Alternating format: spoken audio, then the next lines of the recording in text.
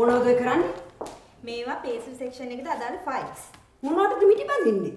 ගෙදර ගෙනියන්න. ස්ටඩි කරන්න. Are you crazy? ඔන්නක දෙනවා මහත්. පැත්තකට වෙලා Sherin! Sherin! Sherin, please come here. Sherin! මෙයා පේස්ට්‍රි සෙක්ෂන් එකේ තියෙන ෆයිල්ස් ගෙදර ගෙනියන්න හදනවා. I think she's crazy. Study කරන්න ඕනේ. මාදවී ෆයිල්ස් ටික අපහු තියන්න. අම්මට එහෙම කියන කිසිම අයිතියක් නැහැ. සමාධි මට පේස්ට්‍රි සෙක්ෂන් එක බාර දීලා ඉවරයි. සමාධි කොහොමද එහෙම කරන්නේ? කම්පැනි එකේ ඕනට එයාට කැමති තීරණයක් ගන්න පුළුවන්. දැන් අම්මට කම්පැනි එක ගැන කිසිම අයිතියක් නැහැ.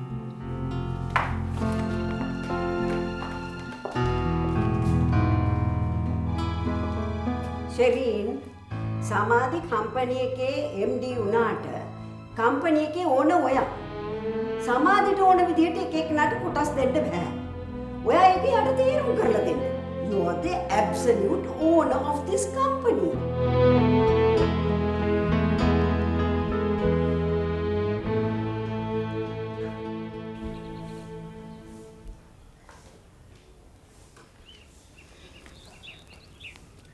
නිරාෂා ඔය දොස්තර මහත්තයත් එක්ක තරහින් ඉන්නේ. නෑ. මට අද ඩොක්ටර්ව හම්බුණා. මම පරණ දේවල් නම් කිසි දෙයක් අහන්න ගියේ නෑ. හැබැයි ඉතින් මං ඩොක්ටර්ගේ ගෙදර යන එක නම් යාට නවත්තන්න හම්බෙන්නේ නෑ. දැන් ওই හිතුවක්කාර වැඩ නවත්තන කාලේ හරි. ඔයා ඉස්සරහට වැඩ කරන්න ඕනේ මං කියන විදිහට. තේරුණාද? අම්මාච්චි පැත්තකටලා ඉන්නකෝ. මං ඩොක්ටර් ගැන බලා ගන්න. මං පැත්තකට වෙලා හිටියා හොඳට ඕම ඇති. මං තවත් පැත්තකට වෙලා හිටියොත් මට මැරිලවත් සැනසීමක් නැති වෙයි. අම්මාච්චි. මං අම්මාච්චිට කවදාවත් දුකක් දෙන්නේ. මේ දෙන දුක හොඳට ඕම ඇති. නිරාශා. දොස්තර මහත්තයා ඔයාට ආදරේ. ඔයාව රැක බලා ගන්නවා. ඔයාට ඒ වගේ කෙනෙක් ආයි කවදාවත් හම්බ වෙන්නේ නැහැ. ඉක්මනටම ඔය දෙන්නගේ කසාදේ රෙජිස්ටර් කරන්න ඕනේ. අම්මාච්චි මොනවා කියනවද මන්ද? මට කසාද බඳින්න බෑ. ඒත් ඔයා ඊයේ කිව්වේ වට ඕනොත් ඔය දොස්තර මහත්තයා කසාද බඳිනවා කියලා. ඒ ඉතින් ඕන වුණොත් නේ. මට දැන් මෙහෙම දෙයක් ඕනේ නෑ. නිරාශා ඔය හිතුවක්කාරකම් නවත්තලා ඔය දොස්තර මහත්තයා කසාද බඳින්නම ඕනේ. මට බෑ. එහෙමනම් හොඳයි. මම මේ දැන් සේරම දොස්තර මහත්තයාට කියනවා. ඔයා බොරුවට යාළු වෙලා ඉන්න එක, ඔයා පලිගන්න දඟලන එක මත් සේරම කියනවා. ඔයා කියන විදිහට වැඩ කළා හොඳට ඕම ඇති. මීට පස්සේ මං වට හිතුවක්කාරකම් කරන්න ඉඩ තියන්නේ නැහැ.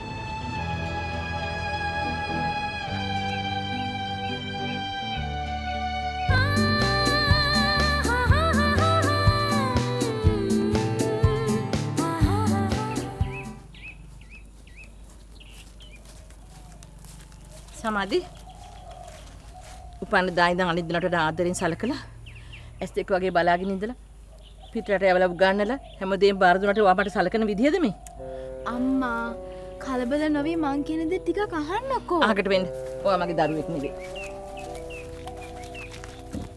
අම්මා මං අම්මගේ සමාධිම තමයි. මට ටිකක් කතා කරන්න දෙන්නකෝ. මගේ දුව නම් පුංචි දෙයකින්වත් මගේ හිත රිද්දවන්නේ ඇයි අම්ම මගේ පැත්තෙන් හිතන්න නැත්තේ. අනික මං අම්මගේ හිත රිද්දන්නේ කියලා කිසිම දෙයක් කරලා නැහැ. මං ඔයාට බිස්නස් එක බාර දුන්නේ හුඟක් බලාපොරොත්තු තියාගෙන. මං ඔයාට තනිකරම ලියලා දුන්නේ මාධවීට ආපහු ඇඟිලි ගහන්න බැරි වෙන්න. ඉතින් ඔයා මොකද්ද මේ කරන්න යන්නේ?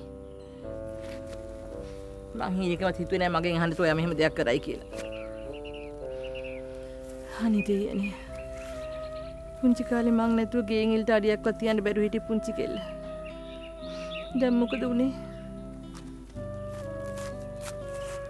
අම්මා මං අක්කට පේෂ සෙක්ෂණ එක බාර දුන්න විතරයි.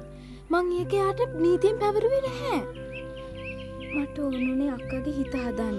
මේ රණ්ඩු නවත්තන්න. එච්චරයි.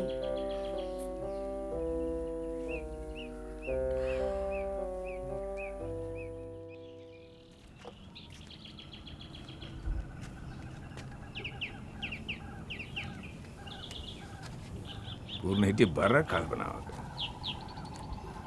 මොකක් හරි ප්‍රශ්නයක්ද? නෑ තාත්තේ. මොකක් හරි ප්‍රශ්නයක් තියෙනවා නම් මට කියන්න. සමහරලාට මට පුළුවන් වෙයි විසඳුමක් දෙන්න. මුකුත් නෑ තාත්තේ. ප්‍රශ්නයක් නෑ. විශේෂයෙන්ම හැඟීම් සම්බන්ධ ප්‍රශ්න වලට උත්තර දෙන්න හරිම අමාරුයි. මාත් ඔය වසේ හිටියනේ. හ්ම්? මම දන්නවා. බලාපොරොත්තු බින්දෙන එක හැඟීම් සම්බන්ධ අතීතය අමතක කරන එක හරිම අමාරුයි කියලා. සමහරලාට හිතෙනවා සමහර දේවල් මුළු ජීවිත කාලෙටම අමතක කරන්න බෑ කියලා. ඒත් එහෙම නෑ. ඒ වෙලාව පන්න ගත්තට පස්සේ සමහර පරණ දේවල් මතක් වෙනකොට හිනාත් යනවා.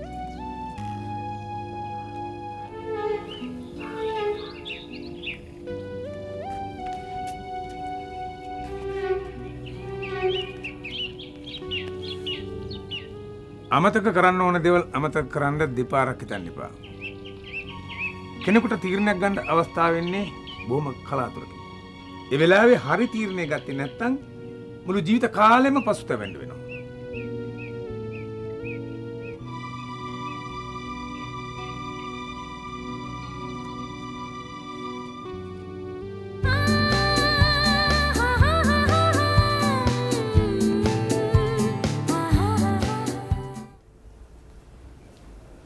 නිරාශා මන් දොස්තර මහත්තයට කියනවා කැමත දුන්නා කියලා. මට කසාද බඳින්න බෑ. ඒකේ නෝට දොස්තර මහත්තය ඕනේ නැහැ කියන එකනේ. අම්මාච්චි මට මගේ පාඩුවේ ඉන්න දෙන්නකෝ. මට ඔයා විනාශ වෙනවා බලන් ඉන්න බෑ නිරාශා. මිනිසෙක් මැරෙන්න කලින් එක දෙයක් හරි හරියට කෙරුවයි කියලා සතුටු වෙන්න ඕනේ. මට මගේ දුව ආරක්ෂා කරගන්න බැරි වුණා. ඒත් මට ඔයා විනාශ වෙලා යනවා බලන් ඉන්න බෑ නිරාශා. ඇයි මට මෙහෙම ගින්දර දෙන්නේ? ඇයි ඔයාගේ අනාගතේ විනාශ කරගන්න හදන්නේ? ඔයාට ඔයා ගැන නෙමෙයි මං ගැන දුක නැද්ද? ඔයා දන්නවා මං ඔයාව රැක බලාගත්තේ. ඔයා උස්මහත් කෙරුවේ කොහොමද කියලා. මන් දන්නවා අම්මාච්චි.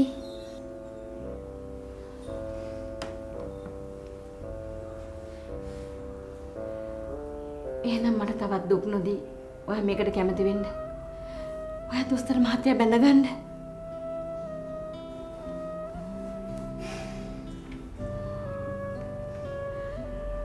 ඕකේ අය තව හිතන්න දෙයක් නෑ නිරාශා. ඒ වගේ කෙනෙක් අයවට හම්බ වෙන්නේ නෑ.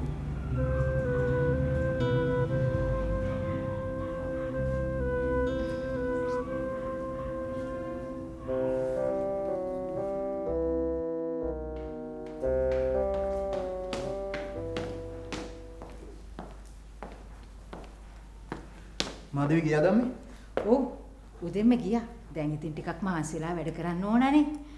ෂෙරින්ලා ගෙදර ගිහින් හවසට බේකරිය පැත්තේනවා කිව්වා. මට ටිකක් නිින්ද ගියා. පුතා ඈරුණාම කියන්න කිව්වා මාදවි හවසට එනකන් ඔපීසියේ ඉන්න කියලා. දැන් ඉතින් දෙන්නට තියෙන්නේ ලාභි පෙන්නන එකයි. සමාධි කරේ ලොකු කපටිකමක්. එයා ෂෙරින්ලට වැඩිය හපන්. ඇයි ලොකු පුතේ එහෙම කියන්නේ? සමාධි කන්ඩිෂන්ස් දාලා පේස්ට්‍රි සෙක්ෂන් එක අපිට බාර දුන්නේ මගේ යටින් යන බිස්නස් එක නවත්තන්න. ලාභ පෙන්වන්න නම් මගේ යටින් යන බිස්නස් එක නවත්තන්න ඕනේ. ඒ වගේද ලොකු පුතේ කොම්පැනියෙන් කොටාක් ලැබෙන එක? එතකොට මුළු ලාභෙම අපේ අතේනේ. ලාභ ලබන්න නම් ඉතින් ඔය කොටහා මාධවීගේ නමට ලියවෙන්න ඕනේ. ඕක ඉතින් කවද ලියවෙයි කියලා කවුද දන්නේ? ෂෙරීන් එක්ක වගේ නෙමෙයි. සමාධිය එක්ක ඕන දෙයක් කතා බහ කරලා කරන්න පුළුවන්. ඒ අම්මලා ඉතින් හිතාගෙන ඉන්න විදිය. සමාධිත් එක්ක දේවල් ඩීල් කරන එක එච්චර ලේසි නෑ අම්මේ. ෂෙරීන්ලාගේ කපටිකම් දෙගුණ තෙගුණ වෙලා සමාධියට පිහිටලා තියෙන්නේ. හැබැයි ඒත් එයාට මාත් එක්ක හැප්පෙන්න එච්චර ලේසි වෙන්නේ නෑ. මං ওই කොටා සින්නක් කරේට ලියා ගන්නවා. පුතේ දැන් ওই යටි කූට්ටු වැඩ නවත්තලා සමාධිගේ හිත දිනා ගන්න බලන්න. ඒක කරන්න පුළුවන් යාප්පුයි. අපි එන විදිහක් බලමුකෝ. හොඳින් නම් හොඳින්. නරකින් නම් නරකින්. මං එන්නම්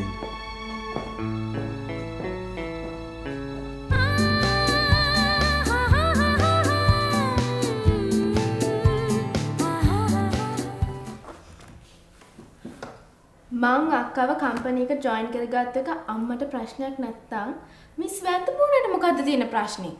සමාධි රොයල් ෆුඩ් කම්පනි එක ඔයාගේ. ඒකේ උරුමය තියෙන්නේ ඔයාට. ඒ උරුමය හුඟක් වටිනවා.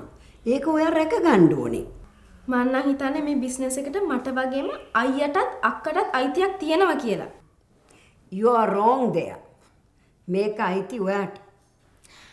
මට මේ බිස්නස් එක ලැබුණේ මං අපේ සියගේ ග්‍රෑන්ඩ් ඩෝටර් වුණ හින්දානේ. ඒ අයිතිය මේ රිලේෂන්ෂිප් එකම අක්කටත් තියෙනවා. නෑ සමාධි. ඔයාට මේක ලැබුණේ ඔයා මේ පවුලේ ළමයෙක්ින්ද නෙවෙයි. මේ මම හින්දා. ඒ කොහමද?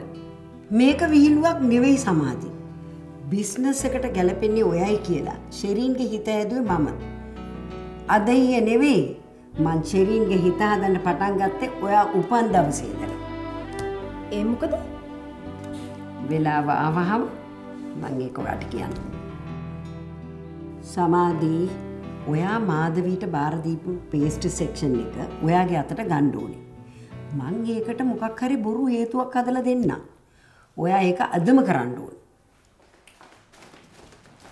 වැඩ බොනේ කල්පනා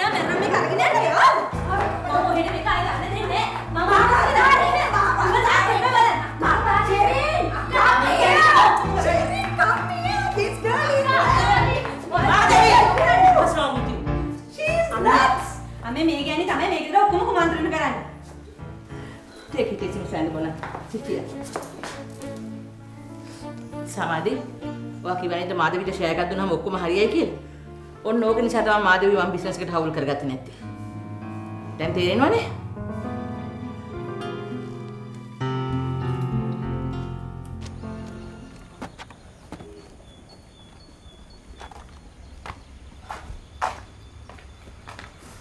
ආචි නිරාශගේ ඇතුළේද? නිරාශ දොස්තර මහත්තයත් එක්ක එළියට ගිහින්. ආ එහෙමද? මේ එහෙනම් ආච්චිම සල්ලි බාර ගන්නකො. නිරාශ දැන් එයි. කමන්නේ. ආ. ගන්නලා ගන්න. මේ නිරාශා හැම වෙලාවෙම දොස්තර මහත්තයාත් එක්ක රණ්ඩු වෙනවනේ. ඒ නිරාශාගේ හැටි. දොස්තර මහත්තයා දන්නවා නිරාශාගේ හැටි. ඒ වුණාට ඉතින් ඔහු හරියටම කෙරෙයිද කියලා ඉතින් කියන්න බෑනේ නේ. ඇයි එහෙම කියන්නේ? නෑ ඉතින් ආච්චි මේ සල්ලිකාරයෝ විශ්වාස කරන්න බෑනේ.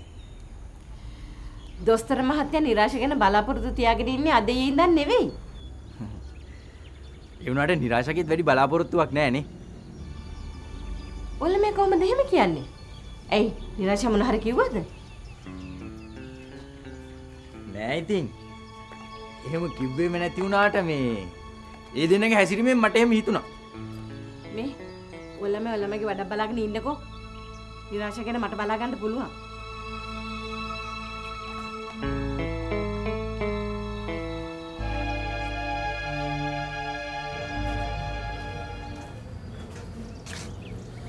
මුලින්ම තාත්තේ.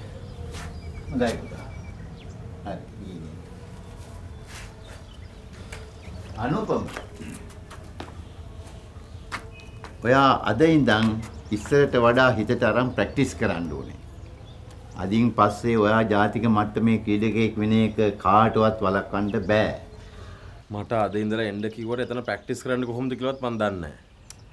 එතන ගහන්නෙත් ක්‍රිකට්නේ. බෝලෙට ඔයාගේ බය අරුන්නේ අද ඊයේ නෙවෙයිනේ.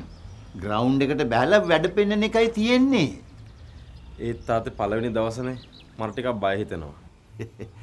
ගණන් ගන්න එපා. පෑට්ස් දාලා ග්ලව්ස් දාලා බැට් එක අතර ගත්තාම ඔය සේරම හරියයි. මං එතන කාවත් අඳුරන්නෙත් නැහැ. ඔයා පරණ ක්ලබ් එකට ගිය පළවෙනි දවසෙත් කොහොම දෙයක් කිව්වා මතකද? මේ බය නැතුව යන්න. ඔයාට වරදින්නේ නැහැ. මං යන්න.